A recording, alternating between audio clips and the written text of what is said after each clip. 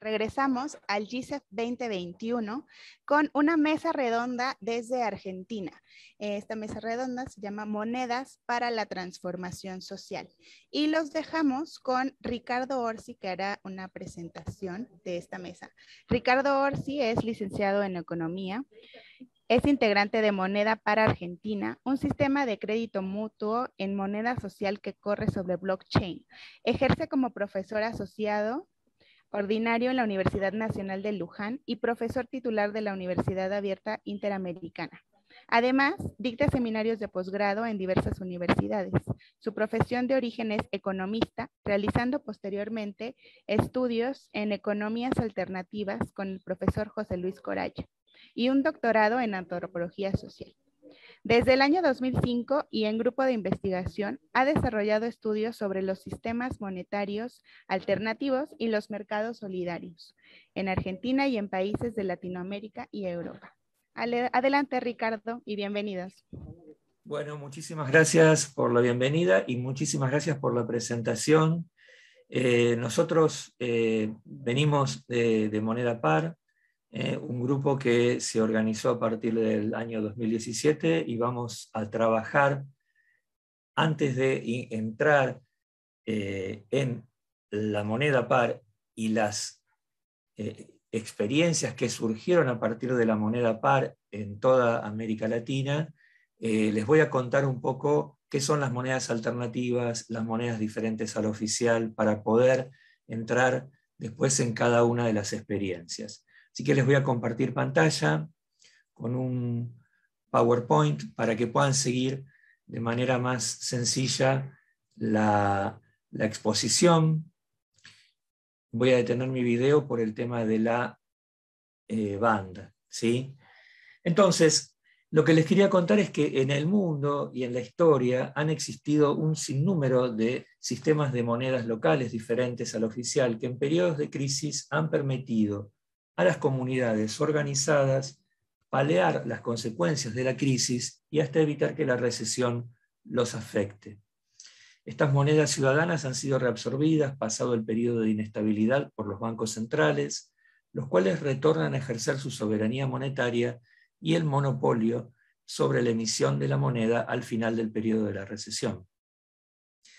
Pero algunas de estas experiencias sobrevivieron y esas son prácticas que atraviesan con fortaleza las crisis y continúan su camino aún en épocas de auge, ¿eh? Eh, evitando esa idea de contracíclica que tienen las monedas sociales y generando acciones microlocales que construyen un entramado que les permite seguir funcionando y seguir creando sociedad. Son experiencias que se sostienen en el paradigma del desarrollo local y desde lo local, y los principios de otra economía, sabiendo que sus acciones redundan más fuertemente en la actividad de sus territorios que el esperado derrame de las políticas públicas a nivel nacional. Estas son las monedas que nos interesan a nosotros, las monedas que trabajan para la construcción de otra economía. ¿Qué ha sucedido con estas monedas que sobreviven a las crisis? La creación de un sistema monetario local permite generar circulante allí donde no lo hay, promueve un incremento del nivel de actividad en los territorios que circula, pero también genera ciudadanía. Crea ciudadanos conscientes de que a través de la creación y gestión de una moneda complementaria a la oficial pueden incidir perceptiblemente en la realidad que les ha tocado vivir. Manejando su propio circulante que incorpora sus valores, pueden resolver el día a día y a contribuir también al desarrollo de su propia comunidad y asistir a la población local más necesitada. En este sentido, el potencial pedagógico y emancipador de la creación de moneda social, así como sus resultados en términos de desarrollo local, permiten pensarla como un importante instrumento para la creación de ciudadanía, en búsqueda de una nueva política para una nueva economía. Las monedas complementarias no son un fenómeno nuevo y existieron en distintas épocas, como la muestra la historia del dinero. Durante los últimos 30 años asistimos a una fuerte expansión de este fenómeno en el mundo. Existen más de 5.000 experiencias funcionando en la actualidad, con modelos diversos, desde el sistema de crédito mutuo, como los LEDs, hasta bancos de tiempo y bancos comunitarios, desde sistemas de intercambio totalmente electrónicos hasta las redes de trueque según el modelo argentino con moneda papel, desde sistemas de moneda y crédito bancario como el de Fortaleza Brasil hasta monedas complementarias patrocinadas por el propio Estado como fueron las monedas del caso de Venezuela o la propuesta por el gobierno de Ecuador en el gobierno de Correa. Pero no toda moneda complementaria es una moneda social. Para que una moneda complementaria se transforme en una moneda social, debe cumplir algunas características particulares. Podríamos definir una moneda social por sus funciones, por su origen, por su objetivo. En realidad, si la definimos por sus funciones, sería simplemente una moneda que promueve la circulación y trata de evitar el atesoramiento, o sea, que el dinero salga de circulación. Pero la definición que Jérôme Blanc, un economista francés, desarrolló en 2006, nos insta a pensar cuál es el objetivo que tienen estas monedas. Blanc explica que son un subgrupo dentro de las monedas locales, que no son emitidas bajo una lógica política ni lucrativa, sino que son sostenidas en una lógica ciudadana y que presentan tres objetivos o motivaciones. En primera instancia, proteger el espacio local, eh, privilegiando entonces el uso local de los ingresos que provienen de una producción local, por otro lado, dinamizar los intercambios locales en beneficio de la población y por lo tanto negarnos a la acumulación, a la conservación y a la concentración de la riqueza. Y por, eh, y por último, transformar la naturaleza de los intercambios en el sentido de revalorizar las capacidades productivas que no son valorizadas por el mercado, transformando las personas de consumidoras en prosumidoras reencastrando a la transacción en una relación humana y que le dé sentido, alejando los intercambios de una lógica mercantil, estableciendo reglas de fijación de precios, por ejemplo, o reglas de control del circulante también. Recordemos que las monedas sociales funcionan en mercados solidarios y que estos mercados son mercados bajo control social horizontal. Ahora que ya sabemos qué son las monedas eh, sociales, vamos a trabajar sobre aquellas que incorporan las nuevas tecnologías, aquellas llamadas criptomonedas o monedas que corren sobre blockchain. En esta última década ha surgido una nueva tecnología que permite operar con el dinero en forma más segura, se llama blockchain, y ha abierto una nueva gama de posibilidades para las monedas alternativas. En este sentido, el blockchain brinda una mayor descentralización de las transacciones y un sistema en el que no haría falta la confianza en la moneda, lo que plantea la cuestión de si nos estamos enfrentando a un nuevo paradigma en la construcción de monedas complementarias y sociales. En este sistema, la verificación de las transacciones es llevada a cabo por sus propios miembros, está desarrollada en criptografía y todos los miembros eh, realizan, eh, que realizan operaciones encuentran sus operaciones registradas, contabilizadas en un registro que es público y que se almacena en los equipos de la red. Esto es lo que, según los investigadores de las nuevas tecnologías, hacen que el registro sea infalible, ya que, dicen ellos, cualquier intento de manipular transacciones resulta en un bloque informático incompatible con el anterior y con el posterior. Sin embargo, el hecho de que sea un sistema sin necesidad de una confianza eh, por parte de la comunidad. Esto sucede en la dimensión tecnológica. No implica que la moneda sea adoptada fácilmente por los miembros de una comunidad. Recordemos que nuestra atención se centra en monedas alternativas que tienen un propósito social y operan en mercados solidarios, los cuales requieren alguna jerarquía para su funcionamiento. Y aquí se genera una tensión entre la noción de confianza utilizada por los investigadores de las nuevas tecnologías y la de los investigadores que trabajan en el campo de la economía alternativa. El reciente desarrollo del blockchain y de las criptomonedas plantea entonces una serie de interrogantes respecto a las cuestiones de la confianza, por un lado, de la gobernabilidad, por el otro, y de la descentralización de las monedas. Las preguntas que son más importantes, ¿pueden las monedas sociales mantener sus principios cuando utilizan una tecnología que defiende la descentralización completa? ¿Puede sustituir la confianza definida para la sostenibilidad de estos sistemas monetarios alternativos por un sistema tecnológico que los presuponga? ¿Implicará el blockchain con sus ventajas, que son costes más bajos, mayor seguridad y mayor transparencia, un punto de inflexión en la construcción de esta pluralidad monetaria? ¿Implica un nuevo desafío para las monedas sociales? Todos estos interrogantes forman parte del día a día del estudio y del trabajo con esas monedas. Y aquí, ya que sabemos lo que es una moneda social que corre sobre blockchain, vamos a hablar de la moneda par, es un sistema de crédito mutuo para el intercambio de bienes y servicios y saberes basados en la tecnología del blockchain y del crédito mutuo, como les decía, y funciona desde mayo del 2017. Su objetivo principal es la creación de un sistema monetario complementario que promueva la autonomía y la resiliencia comunitaria, mejorando la economía en todos aquellos sectores cuyo acceso al crédito está restringido por el sistema bancario tradicional. La moneda par hace posible el intercambio de bienes, servicios y saberes a partir de la creación del crédito comunitario. Este tipo de sistema recibe el nombre de crédito mutuo porque el crédito que reciben los prosumidores no es otorgado por una organización centralizada como los bancos, sino por el resto de los participantes, es decir, la comunidad, de forma horizontal y descentralizada. En el caso de la moneda par, el crédito es a tasa cero, el uso del descubierto no implica el pago de intereses. El par no funciona como dinero tradicional u otros activos financieros. Funciona solo como un medio de cambio dentro de una red y sirve para hacer un seguimiento de cuánto valor, cuánto trabajo se ha entregado y cuánto se ha recibido. La unidad de cuenta es el peso argentino y posee una paridad no convertible de uno a uno con la moneda nacional.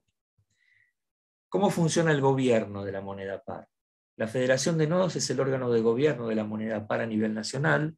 Su misión consiste en la definición de los objetivos del proyecto y las estrategias para lograrlo. Forman parte de sus funciones la definición de los principios y los valores del proyecto y su actualización conforme al ámbito de actuación se va transformando con el tiempo. Integran la federación representantes de cada uno de los nodos y esta federación decide en asamblea ordinaria los responsables de tres áreas específicas con funciones ejecutivas que atañen a la moneda para nivel nacional, economía, comunicación y capacitación. El área de economía se ocupa del proceso de creación monetaria de moneda par y tiene como objetivo definir que su crecimiento sea equilibrado.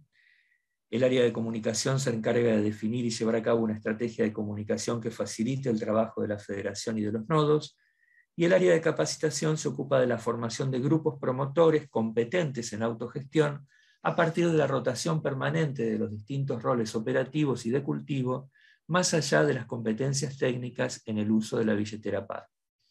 En la actualidad, Moneda Par está convergiendo a su institucionalización con forma de una mutual, lo cual muestra la evolución del grupo hacia una forma de gobernanza por ajuste mutuo propio de las experiencias que se organizan horizontalmente para la toma de decisiones. La mutual ofrece desde la, se ofrece eh, una plataforma digital para facilitar los intercambios o permutas. Sobre los nodos, podemos decir que constituyen las instancias a través de las cuales el proyecto se expande a nivel local. Los nodos cuentan con autonomía para definir a través de un acta constitutivo un reglamento el uso que se le da a la moneda par y la forma en que ésta se implementa. Los nodos también cuentan con autonomía para definir su sistema de gobierno y el mecanismo de toma de decisiones. El único aspecto sobre el cual el órgano de gobierno del nodo no tiene autonomía es la emisión monetaria. Las decisiones sobre emisión, instrumentadas a través del otorgamiento de avales, deben ser consensuadas con el responsable del área de economía designado por la federación. El primer nodo que se creó fue el nodo Boedo en un barrio de la ciudad de Buenos Aires y posteriormente el nodo Moreno en provincia de Buenos Aires, ambos en 2018. Pero la experiencia se fue extendiendo durante 2019 hasta el 2021, aún en los años de la pandemia.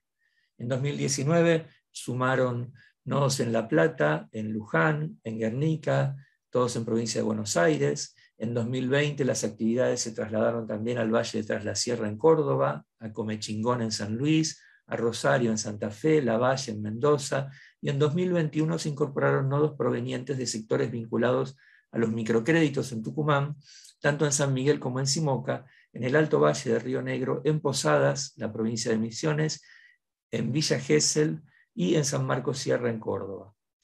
Hoy existen 14 nodos activos en la experiencia que están aquí listados en el cuadro que les estamos mostrando. Si bien la pandemia tuvo efectos negativos, aquí vemos la distribución dentro de la Argentina de los nodos, activos e inactivos. Eh, les decía, si bien la pandemia tuvo sus efectos negativos en todos los nodos, el proyecto logró reconvertir parte de las prácticas de intercambio y del funcionamiento de los nodos a partir de la intervención del área de capacitación, la cual trabaja en forma constante con, las comunidades en la creación de nodos y en su seguimiento con un programa creado por la misma, el misma área que resultó eh, muy interesante para atravesar esta situación. A partir del año 2020, este proyecto comienza a sembrar sus semillas en otras regiones y en otros países. En vínculo con otras comunidades que querían crear su propia moneda y a partir de su área de capacitación, la moneda PAR logró realizar transferencia de tecnología y experiencia en el armado de mercados solidarios con moneda social a varios grupos de América Latina. En Ecuador, la moneda Muyu, en Colombia, la moneda Luna, en Chile, la moneda Sol, en Uruguay, la moneda COP, perdón, eh, en, Uruguay, la moneda Sol, en, eh, eh, en, Argentina, la moneda COP, y el pétalo en Chile. y así también en algunas otras regiones de la Argentina. De estas nuevas experiencias nos vamos a ocupar en los minutos que siguen con integrantes de cada una de ellas para que presenten su nuevo medio de intercambio. Los dejo ahora con Federico y con Andrea que van a coordinar el resto de la sesión y dejo de compartir pantalla. Muchas gracias. Muchas gracias, Ricardo.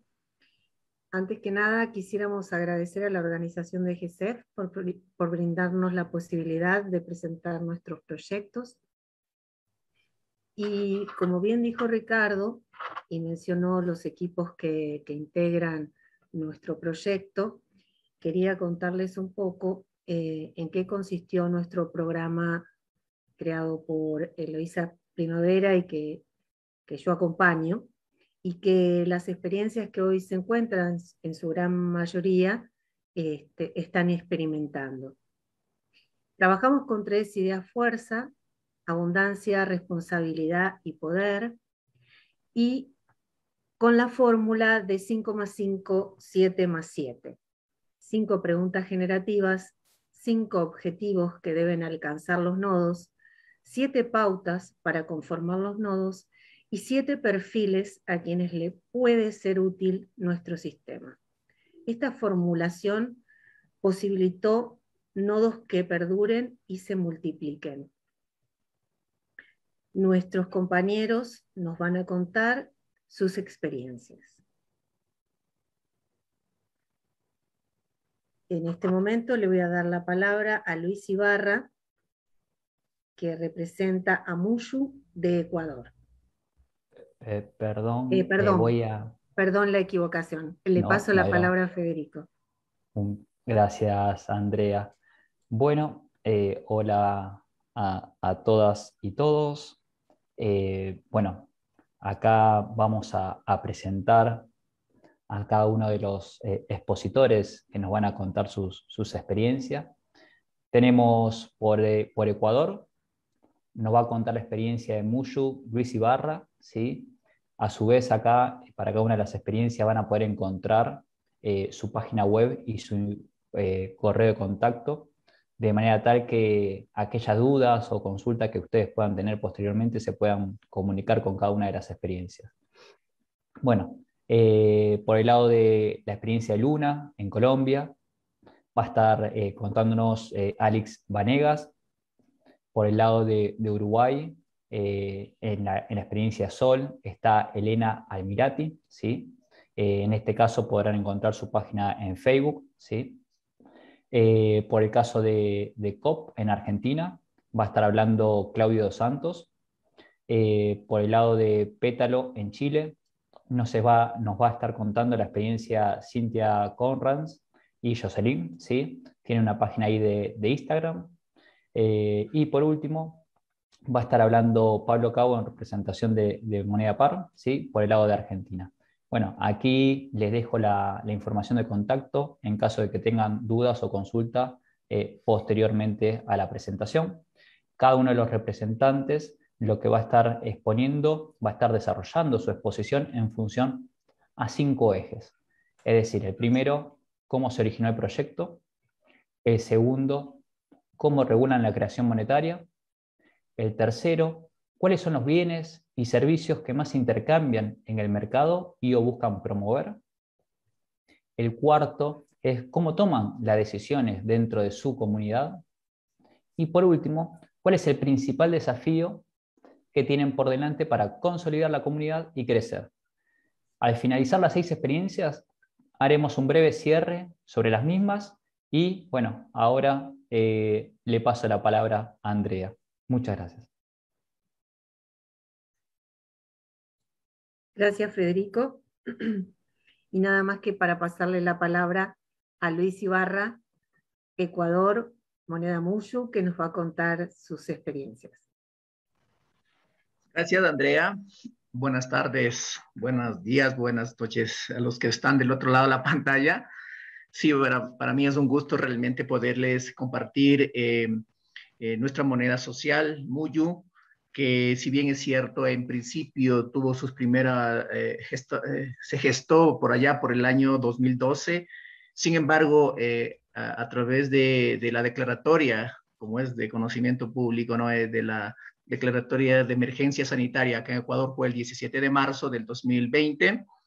Este fue un, un, reencuentro y con una convocatoria de María Belén, que fue una, que fue una de las personas que eh, nos convocó, nos, eh, nos reunió nuevamente para poder este, conformar un grupo motor y conjuntamente con Eloísa Primavera, que bueno, también ha estado eh, en todas las monedas, creo yo, las que estamos, al menos la gran mayoría que estamos acá y con quienes eh, queríamos como cambiar las reglas del juego, ¿no? Que, que, existe en el, en el mundo dominante, en el pensamiento dominante del mercado, y por lo tanto eh, nosotros comenzamos a, a, tener como esta capacitación inicial durante seis domingos, que nos reuníamos todas las mañanas, como todos estábamos encerrados, no podíamos salir, que era una gran oportunidad para, para poder este, pensar y repensar muchas cosas y por lo tanto eh, comenzamos a, hacer ferias desde la tercera segunda, tercera reunión que tuvimos, ya empecemos a hacer ferias vía Zoom,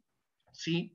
Eh, a través de la moneda social Muyo, que luego, bueno, les bautizamos como, como Muyu, que significa círculo, es una moneda, es una palabra quichua o quechua, que, que, justamente lo que quiere, lo que significa es círculo, circular, eh, semilla, este, germen, ¿no? Tiene varios significados y eso es lo que justamente buscamos en la, en la comunidad, que luego fue eh, a través de una asamblea, eh, la comunidad Muyo con su moneda social Muyo.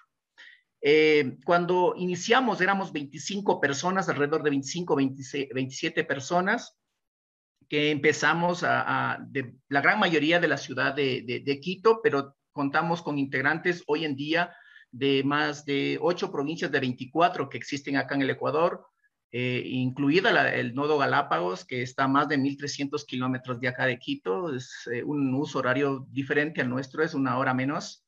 Eh, ellos también empezaron a, tener su comunidad y utilizar la, aplicación que luego en un principio, para contarles, teníamos todos en cartillas, empezamos con 50 muyus equivalentes a, 50 dólares. Nosotros usamos eh, la moneda, el dólar como moneda nacional. Si en el 2000, este, por crisis estructurales del país, como es de conocimiento de la gran mayoría, pues perdimos nuestra, nuestra moneda, el sucre, y adoptamos el dólar como moneda de curso eh, nacional, de curso legal. Eh, y bueno, ah, íbamos intercambiando y los días que teníamos para poder este, hacer las entregas de los bienes, sobre todo físicos, eh, coincidíamos con las placas de los vehículos que podíamos salir y nos encontrábamos este, y entregábamos nuestros bienes y así comenzamos a hacer nuestros intercambios a través de, del Zoom de las ferias que, que hacemos. Eh, bueno, en ese tiempo hacíamos todas las ferias eh, de 10 de la mañana a 12 hora Ecuador y, mm, y, luego, bueno, ahora tenemos los días jueves en la noche porque el, tema es que ya con el cambio de, de la presencialidad hemos, hemos visto que podemos hacer ferias presenciales. En el mes de, en el mes de eh, julio, al finalizar, utilizamos, eh, comenzamos a utilizar la plataforma eh, circular, o sea, con los hermanos argentinos de Moneda Par, este, a utilizar la, la, plataforma y eso nos ayudó también a, facilitar los, intercambios como, herramienta tecnológica. y en el mes de noviembre pasamos a, tener, en vez de 50, primero 100 mullos, iniciamos con 100 mullos ya en la billetera y luego en, noviembre del año anterior adoptamos 150 mullos, que esto eh, representa el 37.5% de un salario básico acá en Ecuador, que está alrededor de 400 dólares, el equivalente. Eh, y bueno, nosotros así comenzamos a, a ir este, eh, llamando, invitando a muchos más integrantes que, y algunos amigos que también, este, conocidos que han sido eh, militantes, que son parte de, de, la, de, algunas organizaciones, para poderles invitar e incluirles también en, en, este, en este proyecto que nosotros, que nosotros lo tenemos. Y así para comentarles, por ejemplo, ahora somos 150 miembros, Sí, este, estamos, eh, eh, como les había comentado, en ocho provincias de 24. Hemos transaccionado más de 130 mil eh, muyus eh, en estos 14, 17 meses más o menos. y bueno, que el que recibe y el que da, que vendría a ser más o menos un Producto Interno Dulce del doble de 260 mil muyus. Lo, para comentarles que ahora estamos en esa transición de, de ir creando nuevos nodos, eh, ya más establecidos con su, con su autonomía, si podemos llamarlo así. En Quito mismo tenemos, eh, empezamos con un nodo central y actualmente estamos con, con, el nodo sur, que hace dos semanas tuvo una feria y la siguiente semana tenemos en el nodo central, que, que se lo realiza en uno de nuestros integrantes, en la Casa del Sol, en, en el Valle de, de, de Cumbayá, de Tumbaco, Cumbayá. Y estamos, por ejemplo, en los valles, estamos en Quito Sur, Galápagos, Riobamba, y tenemos integrantes del sur, de Loja, de, de Manabí, de Imbabura, de Ambato, que la provincia de Tungurahua, y bueno, estamos expandiéndonos más eh, que crecer, pero expandiéndonos con, con, nuestra, con nuestra moneda.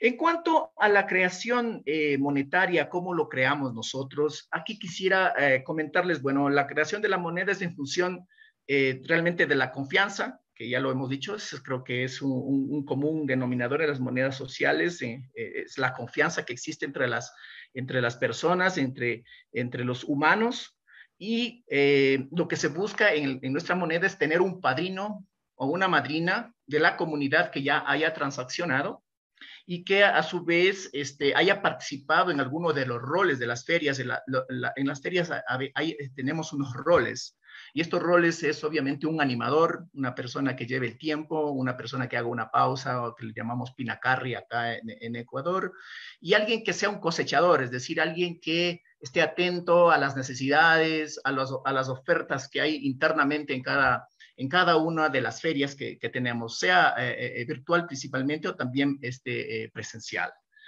Y de esta manera nosotros, esta persona que ingresa tiene unos pasos, nosotros le hemos denominado para ser muy habitante, para estar parte, ser parte de la, de la, de la comunidad, debe tener como unas pequeñas pautas este, que debería cumplirnos. Primero, tener un padrino o una madrina que ya esté dentro de la, de la comunidad que conozca y que le pueda eh, inducir de alguna manera el uso de la moneda, estas reglas mínimas o estas, más que reglas, unas pautas que puedan tener y puedan ir adoptando.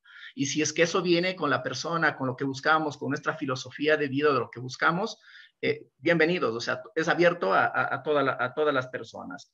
Luego debe participar en un mini curso que es inducción básica y al finalizar el curso llena un formulario en la que obviamente eh, firma como la corresponsabilidad de, hacia la comunidad, así como también el tema de, de, que en algún momento si llegase a salir, pues tiene que dejar en cero la billetera, pero lo más importante es que puede colocar los talentos que cada uno tiene y así como las necesidades, lo que busca de la comunidad, para que justamente eh, tener esta base eh, y que podamos irnos de alguna manera solventando estas necesidades.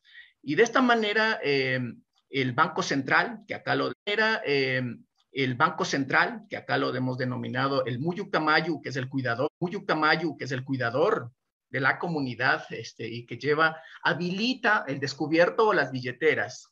Se envía la aplicación, se baja la aplicación en su celular y luego, una vez que haya cumplido con estos tres, cuatro pasos que les he comentado, finalmente eh, termina se le acredita el crédito mutuo que es de 150 eh, hoy en día, ¿no? 150 muyus. Y bueno, eh, para, para comentarles, también se ha hecho, por ejemplo, el ejercicio de, de, de, ir viendo y monitoreando eh, mes a mes, ¿no? Cuántas billeteras transaccionan, cuántas no. Por ejemplo, teníamos así hasta fin del mes anterior, alrededor de 7% de billeteras es una fotografía nada más porque esto es muy dinámico, pero es, importante también. El 7% de las billeteras sumaban un 25% de las transacciones, ¿sí? Y tenían, ¿sí? Perdón que te interrumpa, pero nos quedan algunos ejes que no, los hemos todavía atravesado, puede, puede ser, y quedan poco, queda un minuto. Perfecto. Entonces, solo para comentarles rápidamente, hacemos también esta para emitir la, la, moneda, ver quiénes están transaccionando y quiénes no.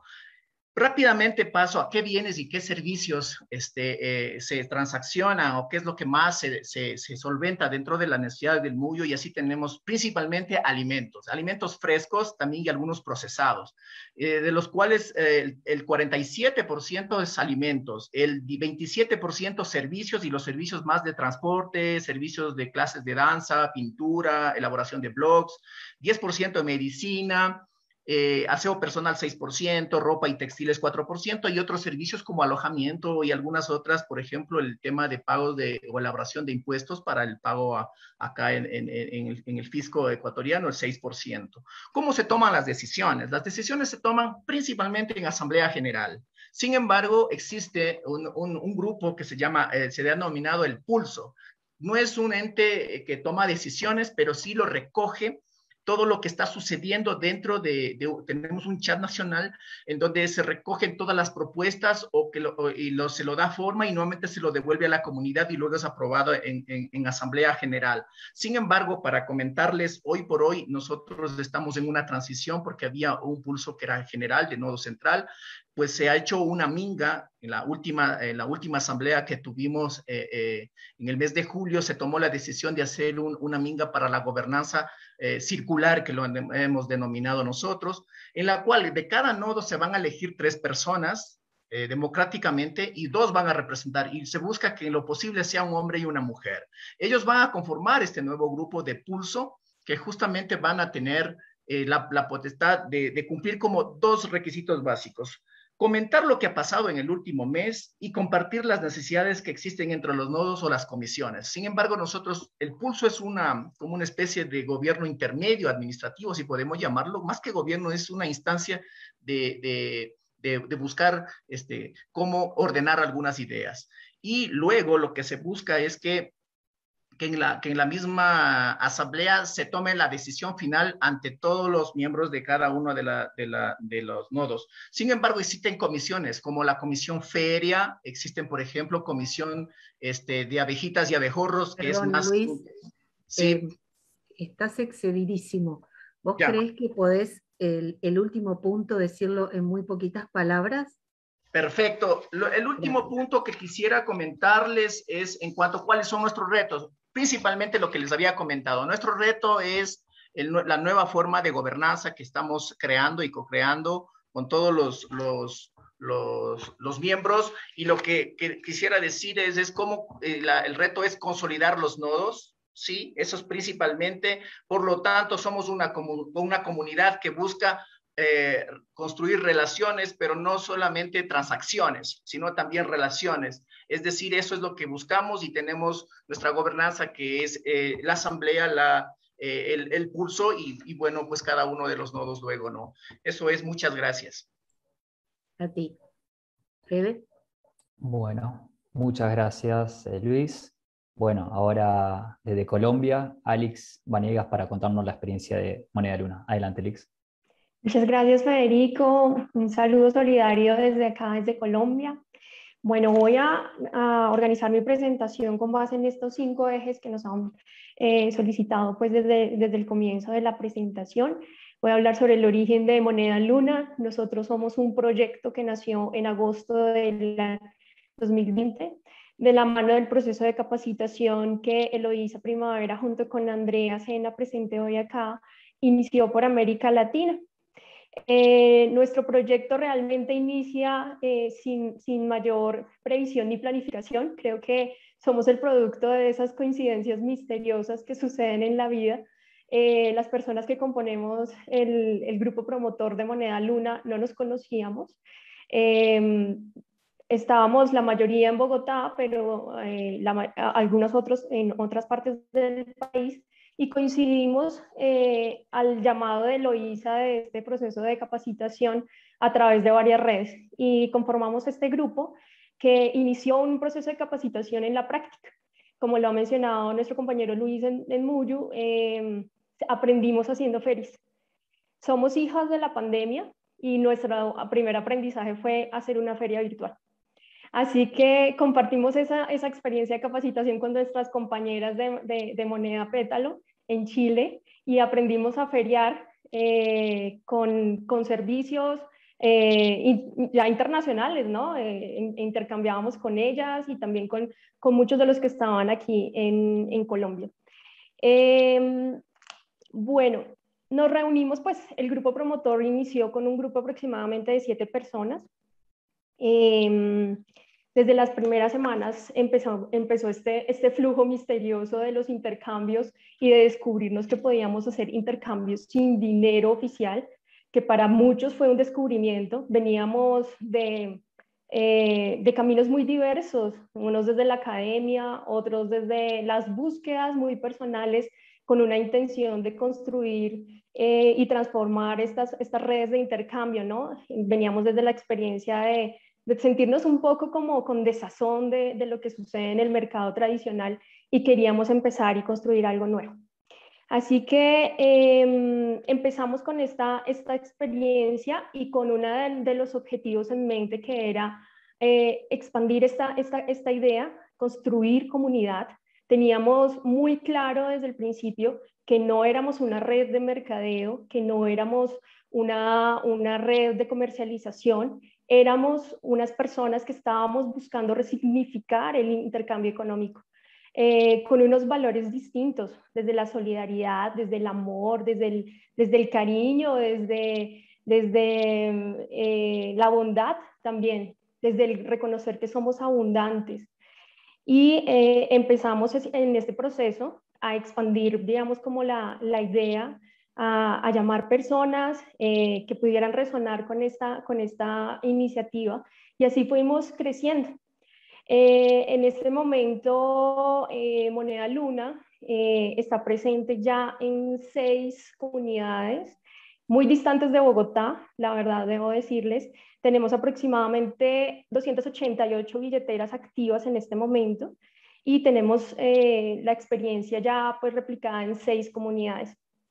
Em, hemos tenido un crecimiento vertiginoso durante los últimos meses y eso pues nos tiene bastante animados porque la idea, y no lo esperábamos la verdad, era, era poder em, llevar esta experiencia que nosotros tuvimos en medio de la pandemia, que, que fue bastante difícil para muchos, eh, y replicarla en aquellas comunidades y personas que, que, que también lo necesitaran y que vieran que esto podía ser una solución para sus comunidades.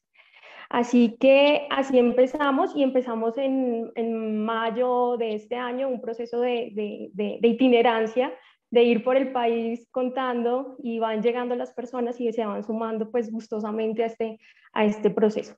Frente a la segunda pregunta de cómo regulamos la emisión monetaria, eh, Ricardo pues ha comentado eh, más o menos el, mecanismo básico que ha sido pues eh, que toda la persona, persona que ingresa a la comunidad de moneda luna ingresa con, con, con un crédito mutuo de 200 lunas, el cual le permite, en el caso nuestro, empezar a, a, vivir en su piel la experiencia de lo que significa intercambiar sin la necesidad de que existan unos pesos que son escasos.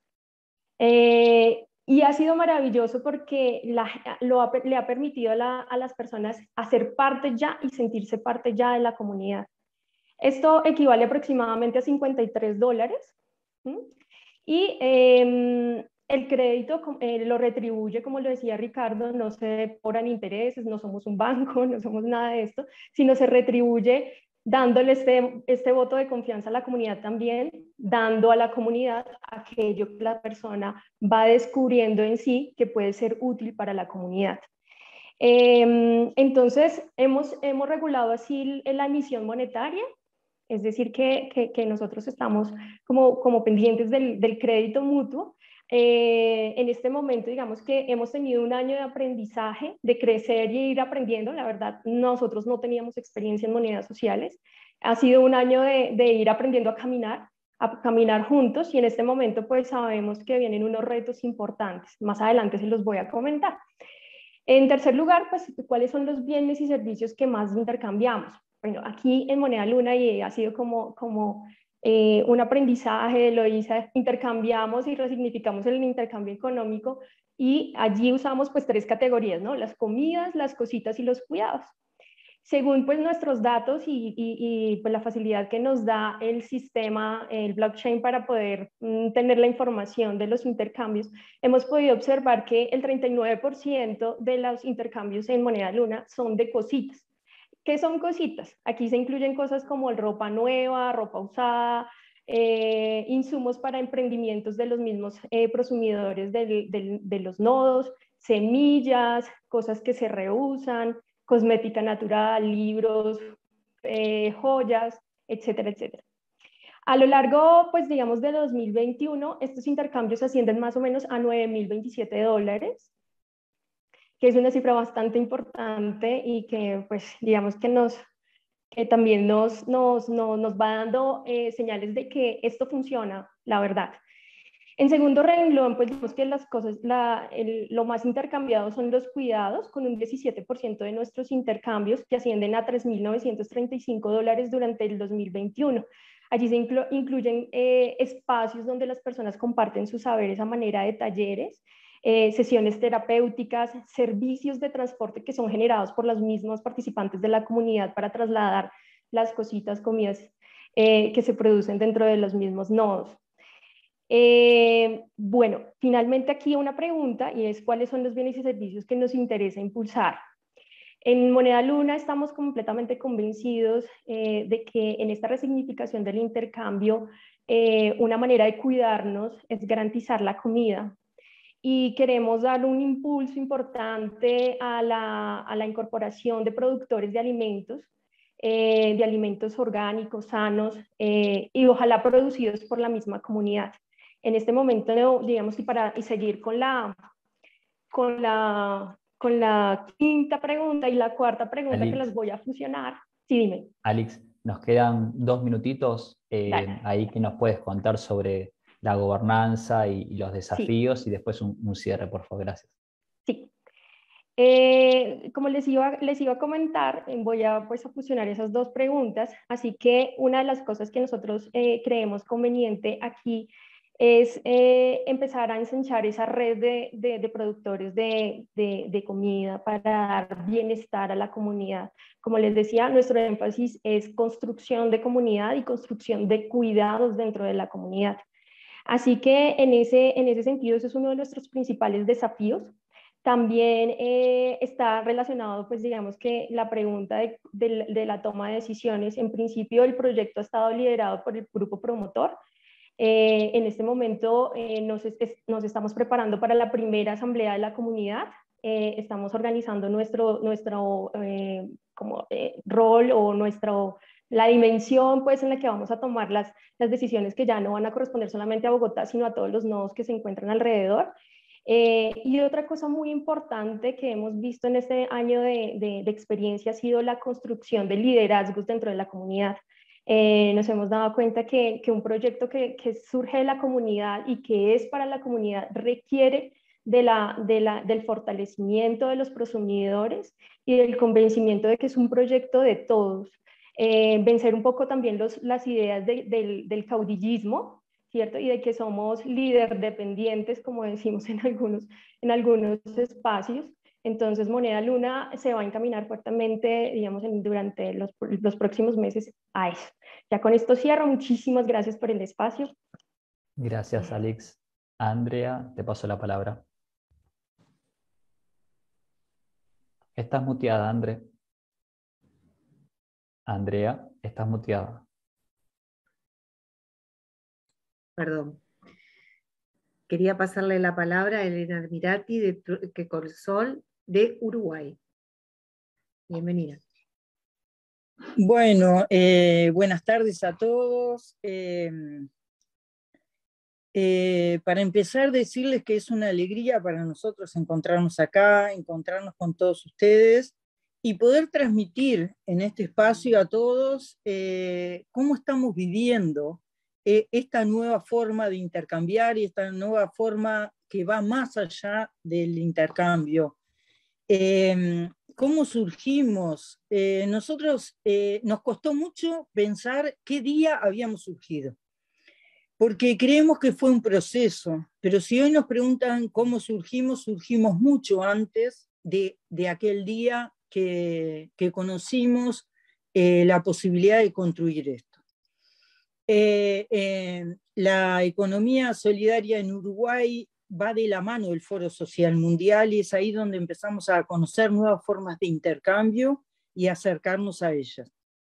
En el último foro de economía eh, transformadora virtual en julio del año pasado nos encontramos contando que teníamos una, un portal de economía solidaria y ahí nos cruzamos con varias personas que, para intercambiar. Y Eloísa Primavera fue una que dijo, bueno, podemos ir eh, a ayudar.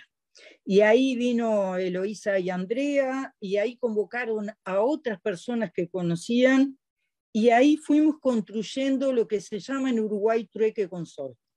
Se llama trueque con sol y definimos que no se llamara moneda, pero que sí fuera hermana, primo hermana y, y, lo mismo que lo que en otros lugares se llama moneda social.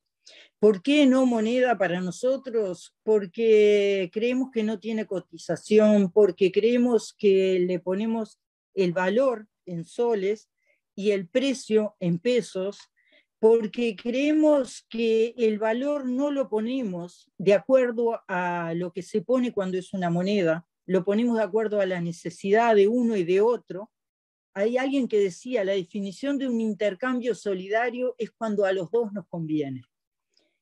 Em, le llamamos trueque con sol y nacimos el día 22 de septiembre del año pasado, que cuando fuimos a ver era el día que había iniciado la primavera. Y este año cumplimos un año, y este año lo festejamos en Colonia, que es un departamento eh, lejano a Montevideo, donde ya hay tres nodos eh, de soles y lo festejamos en un encuentro, en donde también sumamos a la virtualidad, a invitar a otros que nos acompañaran. Eh, los soles surgen en el marco de, como dijeron otros, en el marco de acompañar otros procesos en Latinoamérica, pero en el marco de la virtualidad y la presencialidad. Nos regulamos, eh, nosotros no usamos esa palabra. Cuando nos preguntan cómo nos regulamos, decimos, no, sabemos, porque nunca nos preguntamos eso. Entonces, ¿cómo nos construimos, diríamos nosotros? Nos construimos y, cómo pensamos el tema de, de, los soles y la cantidad de soles. Nosotros definimos que, que recién ahora comenzamos a pensar en cuántos soles tenía cada uno y qué hacer con el que acumulaba, qué hacer con el que no usaba, los soles. Entonces estamos en un fuerte proceso y acá lo acompaño, aquella pregunta de cómo tomamos las decisiones, estamos en un fuerte proceso de análisis, de pensar eh, qué hacemos eh, en estos aspectos. Entonces tenemos varias propuestas arriba de la mesa. Una es que se venzan los soles o una parte de los soles si no los usamos. Otra es que no podamos acumular más que tanto. Pero por encima de todas las cosas, la primera pregunta que nos hicimos es ¿por qué pasan estas cosas?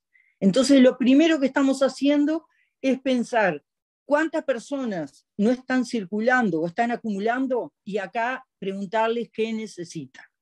Nosotros creemos que más que ofrezco, la pregunta casi que vamos a poner, por lo menos por un tiempo, eh, sobrevalorar es qué necesito. Porque cuando sabemos lo que necesita el otro es lo que buscamos. Porque cuando escuchamos lo que el otro necesitamos es que nos damos cuenta que es lo que a veces tenemos. Ofrecemos eh, productos y servicios, todos los que se han contado acá, pero a su vez estamos en la búsqueda de qué otros productos y servicios podemos ofrecer alimentos sin duda y en primer lugar, pero también eh, servicios como los cuidados. Estamos pensando un colectivo de integrantes de los soles con un proyecto colectivo para cuidados. Surgió a través de una compañera que lo necesitaba y dijimos, juntemos soles entre todos para ver quién puede ir a cuidar unas horas por día a través de ese fondo. Cuidados, creamos un almacén de soles que se autogestiona a través de los integrantes, podemos compartirles otro día, pero es una experiencia de convivencia muy interesante que tenemos hace muy poquito tiempo. Las decisiones las tomamos lentamente y es lo que a veces desespera a algunos y alegra a otros, pero las tomamos lento. Y aquella máxima que podemos tener muchas de los que nos ayudaron a construir, de que más vale juntos, aunque sea despacio. Y eso es lo que decimos a todos. Entonces hacemos la práctica de la paciencia. No es una máxima nuestra la paciencia, pero sí mucha gente la usa. Ahora últimamente las tres frases fundamentales son equidad, transparencia y solidaridad.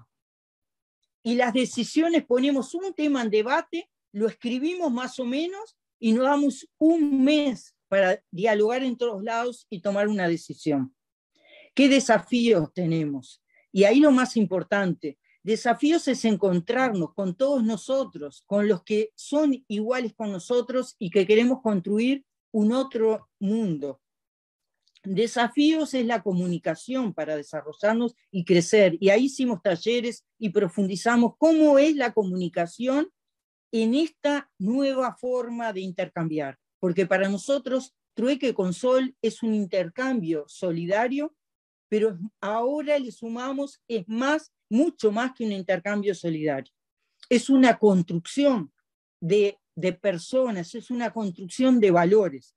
Entonces lo que queríamos trasladar es que para nosotros eh, una propuesta es que queremos, además de los encuentros presenciales y virtuales entre nosotros, hacer encuentros realmente con hermanos de otras regiones.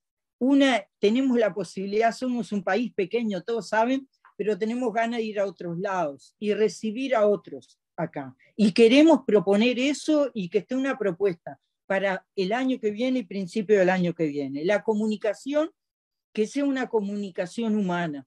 Desarrollamos muchas formas de comunicar y ya hicimos sketch, hay de todo han hecho, han hecho y hemos hecho.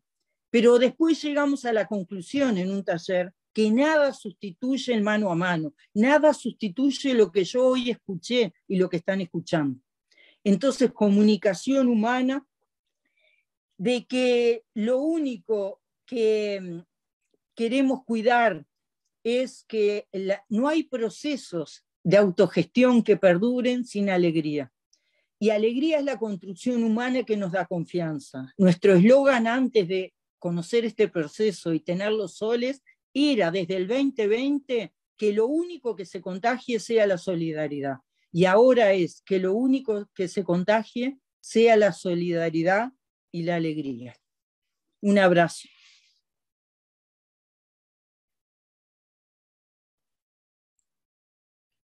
Gracias, Elena. Fede. Bueno, muchas gracias, Elena. Eh, bueno, ahora nos va a contar la experiencia de COP, Claudio dos Santos. Adelante, por favor. Hola, ¿cómo están? Eh, bueno, un saludo desde acá, desde Argentina, de la provincia de Córdoba, ciudad de Río Cuarto. Eh, bueno, un poco para comentarles nuestra experiencia, me parecía pertinente eh, empezar por cómo nos empezamos a organizar nosotros en la ciudad. Nosotros no surgimos, digamos, a partir de la, de la moneda específicamente, sino que eh, que nos fuimos organizando un conjunto de trabajadores en cooperativas de trabajo eh, de distintos rubros eh, y ya hace más de una década que venimos en ese proceso. Y, bueno, y un poco también de ahí surge la, la, organización en una federación también de cooperativas de trabajo y también surge la organización, como muchos de ustedes mencionaban recién, de, eh, de la organización en base a las necesidades que tenemos, la principal, el poder comer, el poder alimentarnos. Entonces, desde, desde aquellos años, digamos, es que empezamos a hacer eh, esquema de compras conjuntas de alimentos armados de bolsones.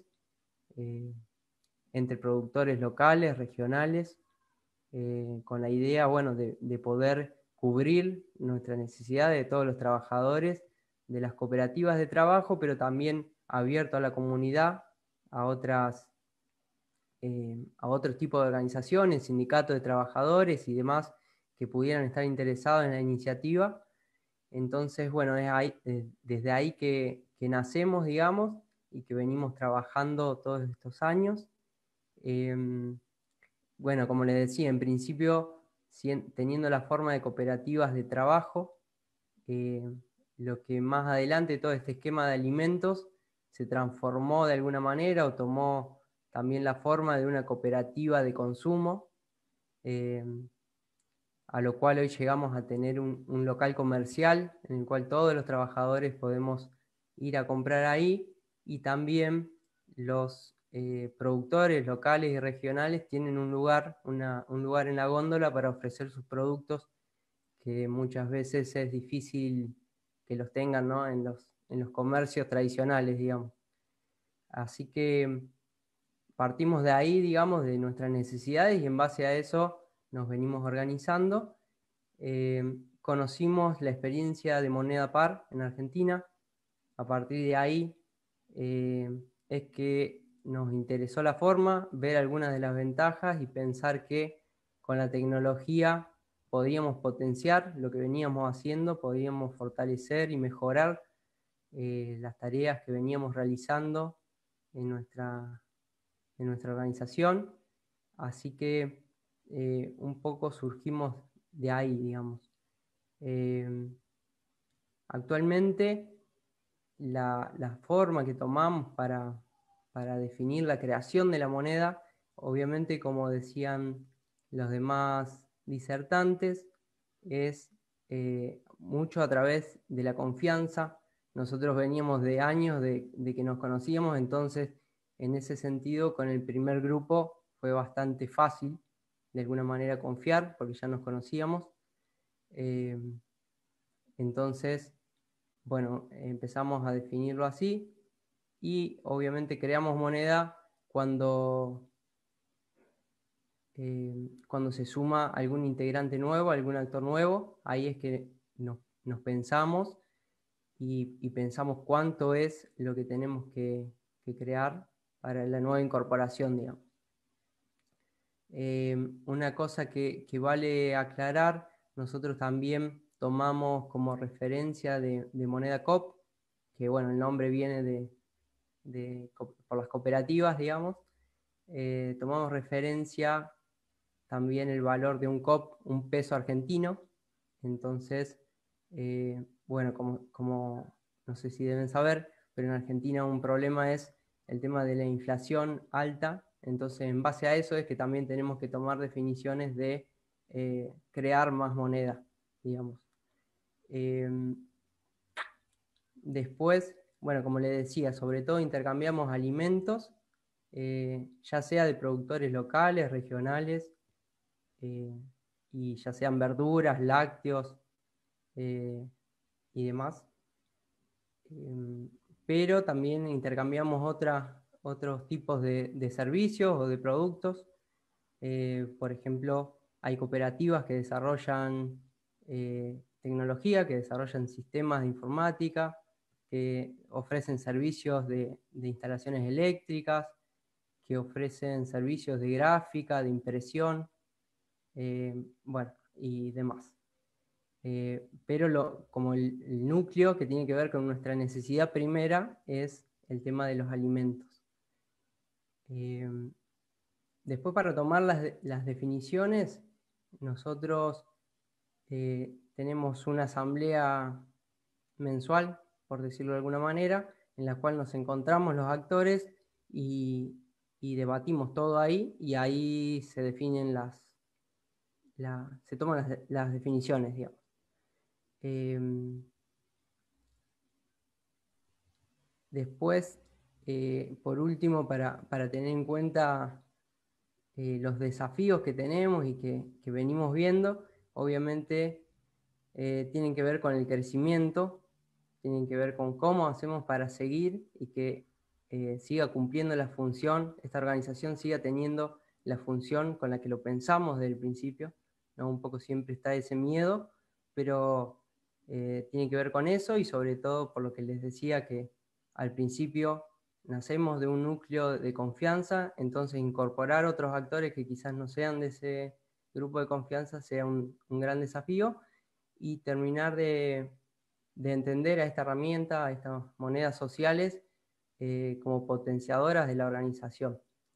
Eh, eso sobre todo, y, bueno, y que, sigamos, eh, sigamos haciendo de esto una alternativa, sigamos mostrando nuestra experiencia y que hay otras formas de organizarse de manera solidaria y, pensando en comunidad, participando en comunidad eh, por, un, bien común. Así que gracias por el tiempo y, bueno, termino acá. Muchas gracias, Claudio. Eh, bueno, eh, André, te paso la palabra. Gracias. Bueno, para presentar a Cintia Conrad y Jocelyn Jiménez de Pétalo, Chile. Bienvenidas. Hola, bienvenidas. Gracias. Gracias. Un saludo desde acá de Valparaíso, de Chile.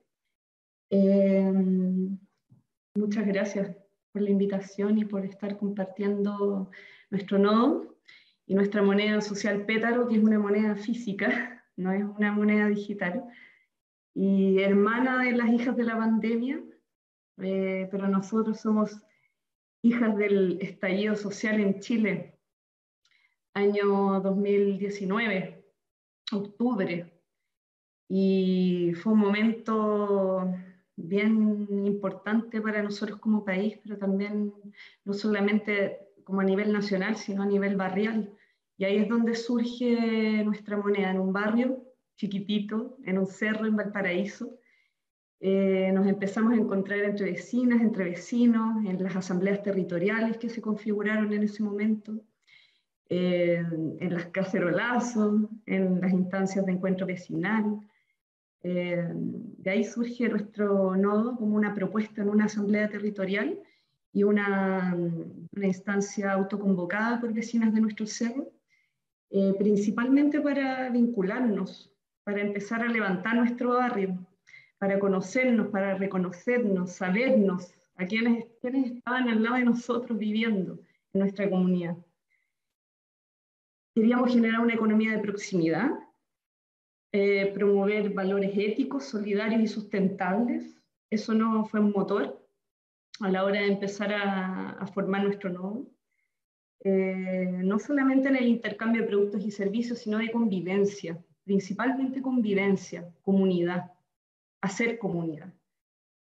Eh, queríamos articular una red de apoyo y creo que después de estos dos años lo hemos logrado, somos 40 prosumidores, 20 eh, más activos que han quedado después de la pandemia, ahora estamos ahí también con un desafío de traer a nuevos, a nuevos prosumidores. Hicimos una formación con Eloísa y conocimos a nuestros compañeros de Bolivia y eso nos ayudó también a, a autoformarnos porque partió muy impulsivamente en el pleno furor del estallido social.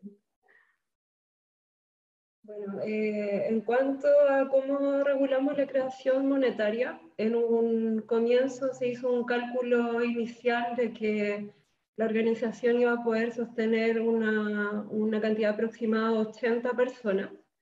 Entonces se hizo un cálculo, eh, digamos, como decimos acá, al ojo, eh, sin, sin, tener como elementos concretos y reales de, de, de, de, una proyección económica.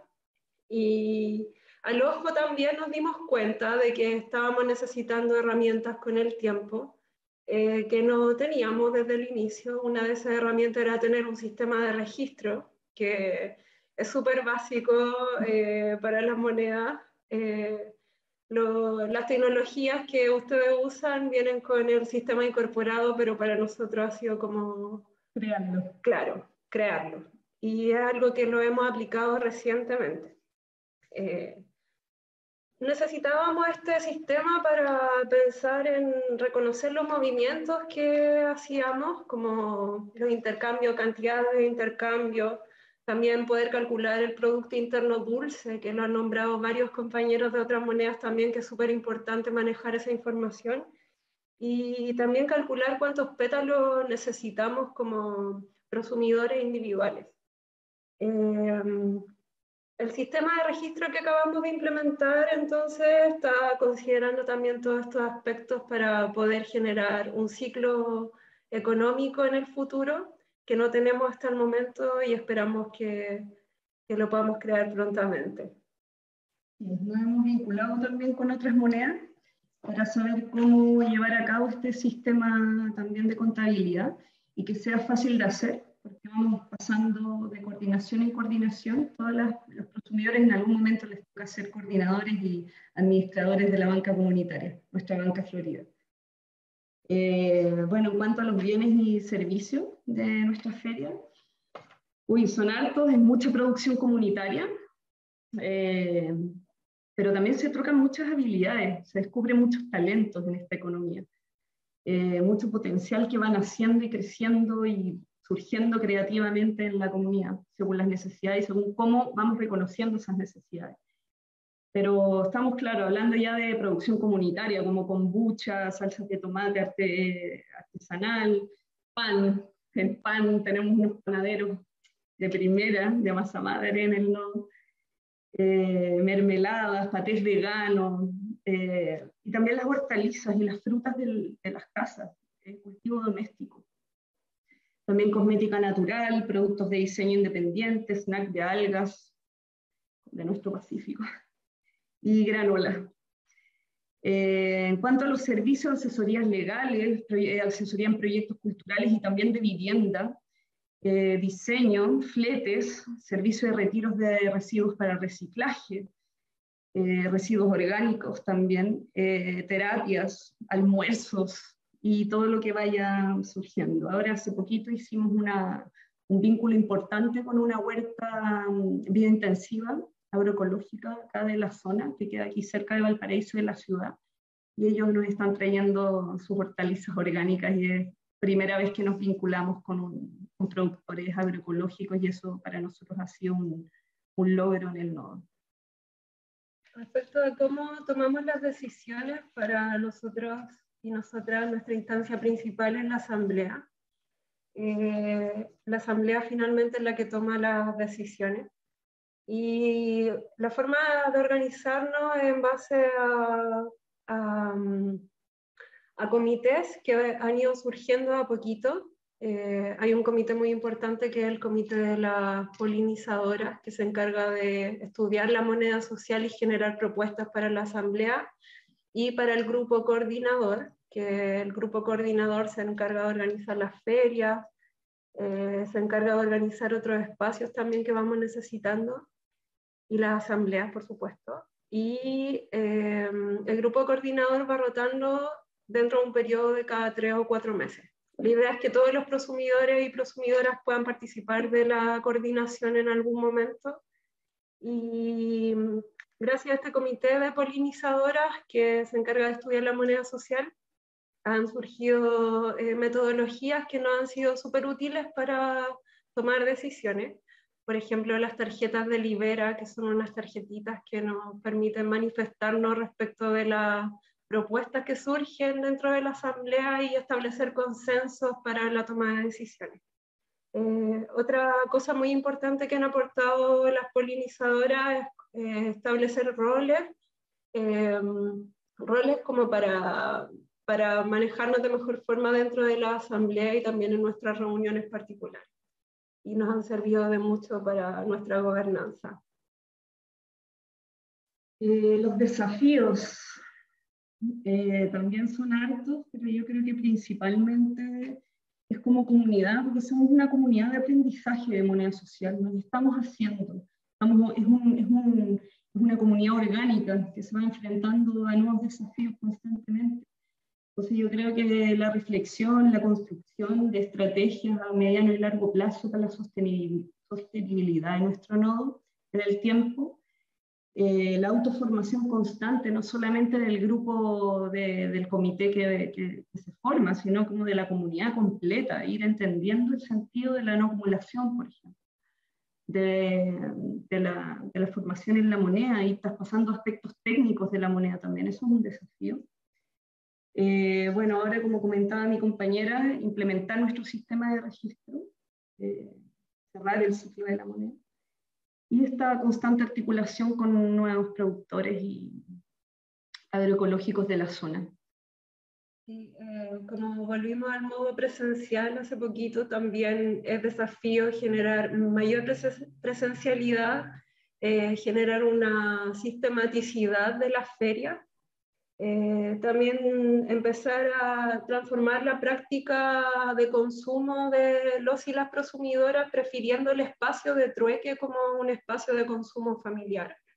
Eh, otro tema es fortalecer más el compromiso de los y las prosumidoras, que de repente este cambio de modo virtual a modo, presencial nos ha afectado un poquito el tema de los compromisos y de volver a los espacios presenciales sobre todo. Y una cosa muy importante, y es lo que decía Elena, es vivir la experiencia con alegría, generar prácticas eh, festivas, prácticas más alegres y prácticas más rituales que nos permitan vivir la experiencia con más alegría, más entusiasmo y todo muy entretenido y con ganas de participar. Y por último queremos mostrarles nuestras monedas que están acá. Bueno, son una muestra. Esta es nuestra moneda física y con esta nosotros, esta es nuestra tecnología. muchas gracias, muchas gracias. Gracias. Fede. Gracias. Bueno, eh, pasamos ya a nuestra última experiencia del día de hoy. Lo tenemos acá Pablo Cabo para hablar de, de moneda par. Adelante, Pablo.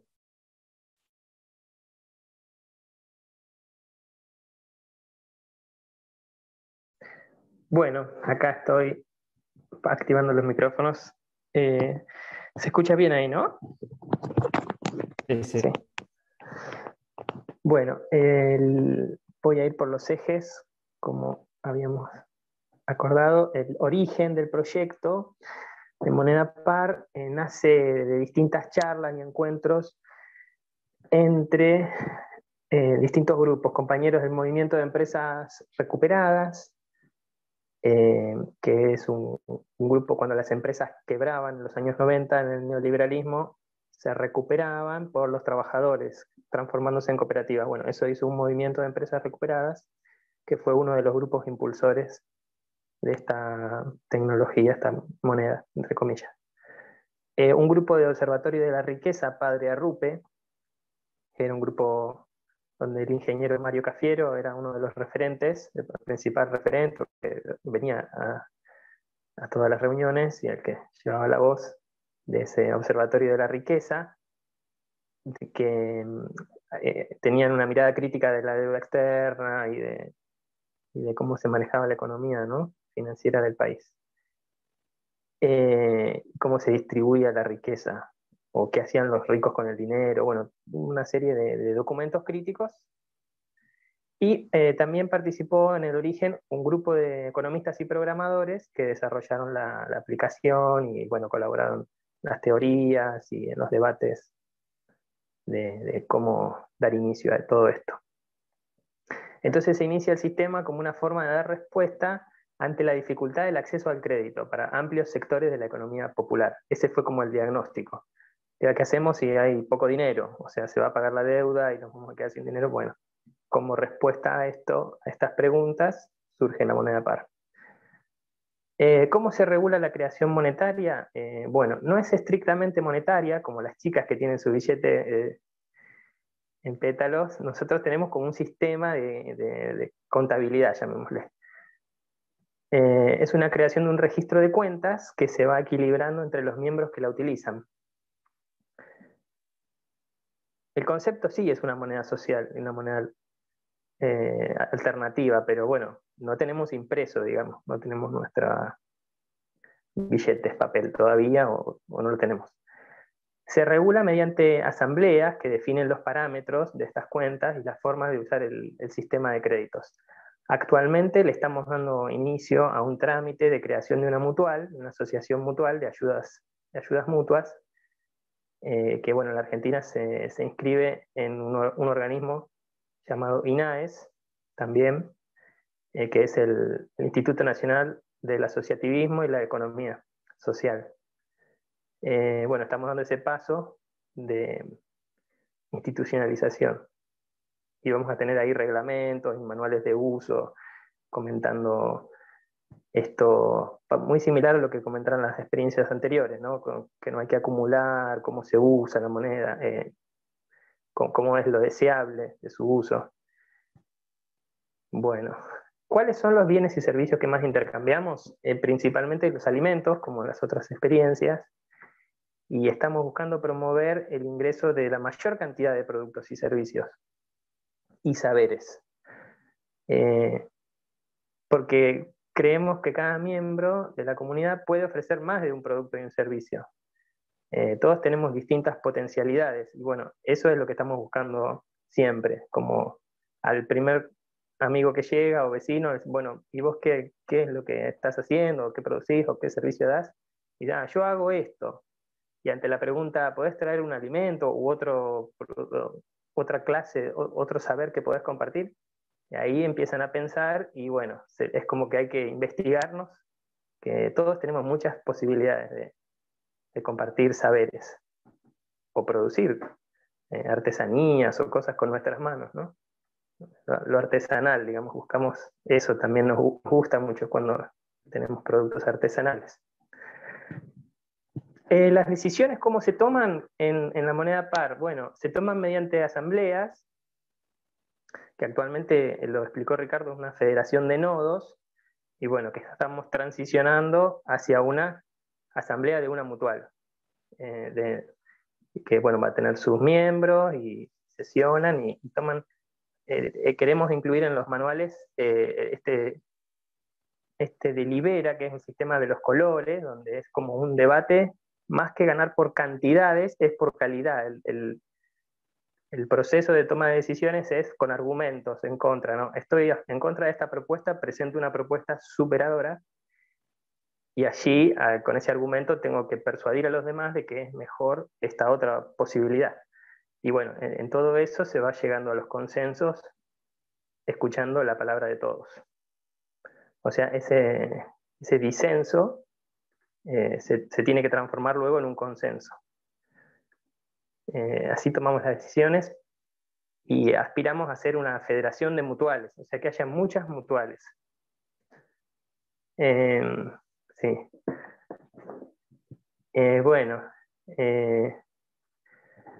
después, ¿cuál es el principal desafío? Ah, este sistema de delibera lo trajo la compañera Eloisa Primavera también, que como dijeron, nos tiene un, la capacitación. En la capacitación es uno de los puntos de, por ejemplo, de forma de, participación en las asambleas. ¿no? Eh, ¿Cuál es el principal desafío que tiene por delante para consolidar la comunidad y crecer? Bueno, el principal desafío es generar y difundir, voy a leer esto, eh, así lo hago rápido y si puedo meto otra, un final. El principal desafío es generar y difundir la conciencia del cambio que creemos que es urgente. O sea, comprender que no solo estamos haciendo una transformación cultural, sino que tenemos que entender que estamos ante la necesidad de una transformación política y económica.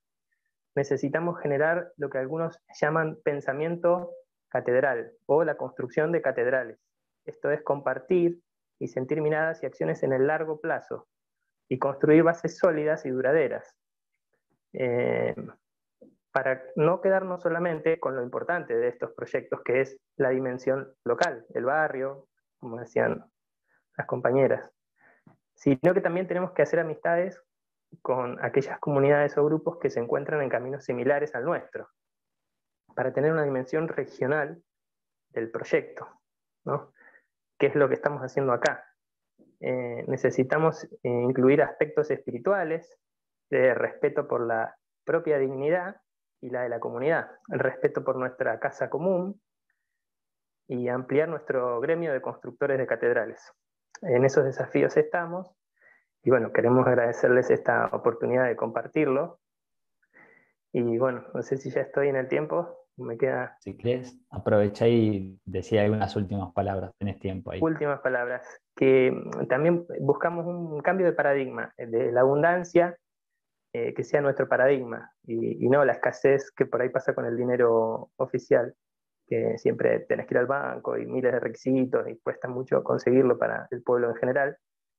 Y la naturaleza nos da abundancia, entonces tener el paradigma de la abundancia y también un cambio eh, de paradigma en dejar de obedecer los mandatos de las publicidades y animarse a disentir con otras miradas. Em, resignificarnos. Y bueno, poder decir que sí a, la amistad, a las vecindades, sí a las ayudas mutuas, sí a la comunidad que se organiza para poder soñar colectivamente. Eso, que es lo que creo que estamos haciendo acá. Y agradecerles mucho.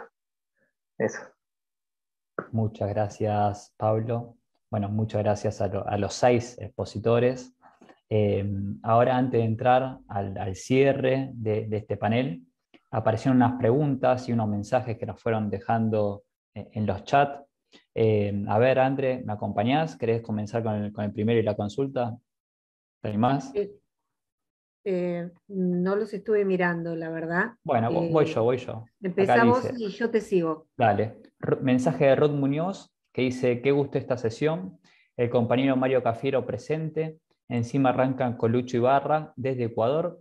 Las dos maestrías en Economía Social de la Universidad Nacional de General Sarmiento y de la ESC de la, del IAN se unen en la construcción de otra eh, moneda y otra economía. Felicitaciones compañeros y compañeras. Gracias querido Ricardo Orsi.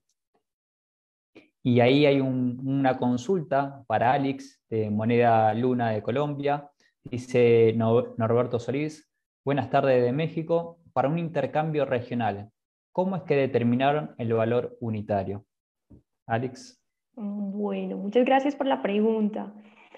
Bueno, realmente eh, el, proceso, el proceso inicia, eh, digamos que esta es una de las primeras preguntas con la que inicia todo un proyecto de moneda social, ¿no? ¿Cómo, cómo empezar a tener eh, un referente de valor en, en, cada unidad de moneda social que, que, empezamos a transar, ¿no? En este caso en las lunas. ¿Cómo era, qué, qué, valor iba a representar de, digamos, de esos pesos que estamos acostumbrados acá en Colombia a usar? Y lo que nosotros decidimos en nuestra comunidad, que como les comentábamos, éramos siete personas en este proceso, dijimos lo mínimo que nosotros podemos comprar en, en Colombia, eh, lo más pequeñito, digamos, es eh, mm, algo equivalente a mil pesos. Mil pesos colombianos, entonces los vamos a establecer como una luna. Y ese fue nuestro primer pacto y con eso empezamos eh, a, apreciar las cosas que intercambiábamos ya no en pesos, sino en lunas, que hace parte también, digamos, de todo este proceso de ir resignificando el intercambio económico. Simplemente eso. Gracias. Gracias, Alex. Bueno, eh, entramos en la última etapa, en el cierre ya. Bueno, acá seguramente como cada uno lo habrá visto, hay algunos puntos en común de cada una de las experiencias y después hay algunas diferencias, ¿no? Obviamente eh, comprensibles. Eh, lo que se observa y cada experiencia fue contando es que, bueno, parece que hay tres ejes puntuales al momento irrelevantes para una moneda social. Bueno, el primero todos se habrán dado cuenta, el, más importante pareciera ser la comunidad, ¿sí? los valores que las comunidades eh, implementan en su comunidad y es lo que lo hace diferente al resto, ¿no? Es decir, hablamos de puntos en común, pero después cada comunidad tiene sus propios valores. En segunda instancia, obviamente, en esa organización que llevan adelante, es muy importante encontrar y fortalecer un mercado, ¿sí? Es decir, ese mercado en el cual la comunidad va a poder de alguna manera satisfacer sus necesidades de manera interna. Eh, obviamente cada mercado va a tener sus, productos por ahí más relevantes y otros menos relevantes. Bueno, ahí eh, cada experiencia fue detallando eh, por ahí qué es lo que más se vendían en un, en un, qué es lo que se intercambiaban más en uno o en otra comunidad. Y por último, y bueno, uno de los grandes desafíos que uno observa que a veces tenemos comunidad, tenemos mercados, pero no se realiza el intercambio. ¿Por qué razón? Bueno, justamente el tercer elemento, ¿cuál es la moneda? Bueno, falta circulante. Bueno, en este sentido, las experiencias se han organizado para justamente a través de una comunidad y un mercado poder satisfacer sus necesidades a través de una moneda social. Em, después, acá cada experiencia fue, como lo fueron contando, tienen diferencia en, en qué, en cómo se fueron organizando, cómo fue que nació ese proyecto. Por ejemplo, el lado de Claudio dejó claro que ellos ya eran una comunidad preexistente, entonces no es que hay un manual de procedimiento o que diga, bueno, una sola forma de organizarse. Es un camino que constantemente se va transitando, se van tomando decisiones y se va desarrollando. De ahí existen diferentes, eh, justamente, diferencias con las distintas comunidades. Eh, otras cuestiones que aparecieron en, punto en común es, bueno, eh, la confianza, ¿sí? fundamentalmente en cuestiones monetarias, y después la tecnología que se utiliza. Y ahí, como Ricardo planteó en algún momento, es, bueno, ¿puede ser que la tecnología blockchain reemplace en algún momento la confianza? Bueno, son preguntas que habrá que responder a futuro. Eh, bueno, algunas cosas más importantes también que, que fueron surgiendo. La importancia y eh, que una moneda social se mantenga el tiempo es justamente que hay un grupo impulsor por detrás que está constantemente hablando con la comunidad, contando los beneficios de, las monedas, contando cómo pueden satisfacer sus necesidades a través de un mercado que se va autoorganizando. Em, obviamente, cuanto más relaciones y, más el mercado sea más grande, más intercambio van a poder realizar. Em, ¿Qué otras cosas más aparecieron? Bueno, eh, aparecieron cuestiones vinculadas a los valores humanos, ¿sí? la equidad, la transparencia, la solidaridad, muy fuerte los valores eh, comunitarios. ¿sí? Eh, obviamente, como decíamos, no hay una forma única de organizarse, es en definitiva cómo la comunidad desea organizarse. Por lo tanto, cada experiencia va a tener su propia lógica. existen caminos diversos, como decíamos, y justamente en esas capacitaciones eh, tienen distintas lógicas, no es necesariamente una capacitación que resuelve o que es única para, cada uno. Seguramente en ese camino que uno va recorriendo y que después cada comunidad fue recorriendo, fueron implementando nuevas herramientas para poder transmitir sus experiencias. Eh, bueno, y un, factor importante acá que, también comentaban en cuanto a las diferencias, hay diferentes roles o eh, personas que van apareciendo con distintas capacidades. En esto es muy importante, eh, nombraban a aquellas personas que están interesados desde la comunidad, personas que vienen desde la academia contando y apoyando y dándole lugar a eh, y, publicitando estas cuestiones que no son únicas, sino que ya vienen de, con mucha historia atrás. El concepto de pluralidad, pluralidad, monetaria es muy importante y hay mucho material ahí para contar a las distintas experiencias. Y bueno, para ir finalizando y, para dándole el espacio a Andrea, em, tengamos en cuenta que hay distintas necesidades y distintos productos. Si de alguna manera la comunidad logra eh, ofrecer lo que el otro está necesitando, de manera conjunta van a estar satisfaciendo sus necesidades a través de una moneda social, que en este caso tiene una pata tecnológica muy importante. Bueno, Andrés, todo tuyo, muchas gracias. Gracias, Fede. Eh, antes quisiera transmitir una, una, pregunta, una última pregunta que hay de Carolina Serna. ¿Cuáles han sido los mayores problemas que han tenido y qué retos enfrentan en la, en la interacción con la con la comunidad, todo suena muy perfecto y quiero saber cómo hacen, porque en San Francisco, Cundinamarca, no sé si lo conoces Alex, Colombia, nos enfrentamos a una variedad de situaciones. Esperen que se me fue, un segundo.